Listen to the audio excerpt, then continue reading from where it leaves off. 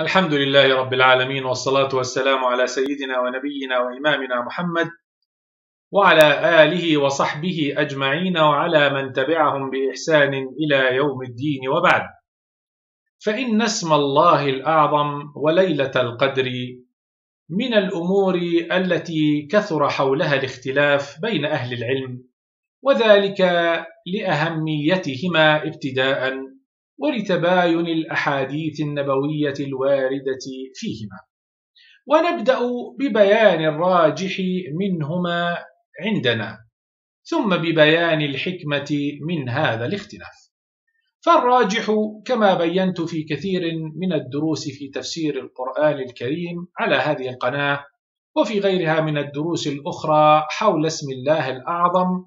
وذلك من استقراء أصح الأحاديث الثابتة عن رسول الله صلى الله عليه وسلم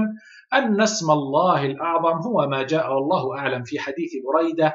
ابن الحصيب الأسلمي رضي الله عنه أن رسول الله صلى الله عليه وسلم سمع رجلا يقول اللهم إني أسألك بأني أشهد أنك أنت الله لا إله إلا أنت الأحد الصمد الذي لم يلد ولم يولد ولم يكن له كفوا أحد فقال صلى الله عليه وسلم لقد سأل الله باسمه الأعظم الذي إذا سئل به أعطى وإذا دعي به استجاب. وصححه الألباني في أصل صفة الصلاة على شرط الشيخين وقال ابن حجر العسقلاني في فتح الباري وهو أرجح من حيث السند من جميع ما ورد في ذلك وكذلك قال الشوكاني في تحفة الذاكرين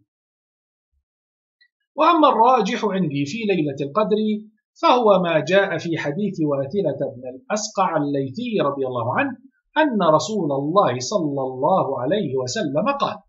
أنزلت صحف إبراهيم أول ليلة من شهر رمضان وأنزلت التوراة لست مضت من رمضان وأنزل الإنجيل بثلاث عشرة مضت من رمضان وأنزل الزبور لثمان عشرة خلت من رمضان وأنزل القرآن لأربع وعشرين خلت من رمضان حسنه الألباني في صحيح الجامع وفي السلسلة الصحيحة. وقد صحت أحاديث أخرى بغير ذلك وقد رجحت هذا الحديث على غيره والله أعلم لأني قد رأيت علامة ليلة القدر في أكثر من عام صبيحة يوم الخامس والعشرين من رمضان كما وصفها سيدنا ونبينا رسول الله صلى الله عليه وسلم حيث قال صبيحة ليلة القدر تطلع الشمس لا شعاع لها وقد صححه الألباني في صحيح الجامع والله تعالى أعلم. وأما الحكمة من الاختلاف في ليلة القدر هو أن يجتهد المسلمون في إدراكها بقيام جميع ليالي شهر رمضان المبارك. والحكمة من الاختلاف في اسم الله الأعظم هي الدعاء بجميع أسماء الله الحسنى كما قال الله تبارك وتعالى ولله الأسماء الحسنى فادعوه بها وصلى الله وسلم وبارك على سيدنا ونبينا محمد والسلام عليكم ورحمة الله وبركاته.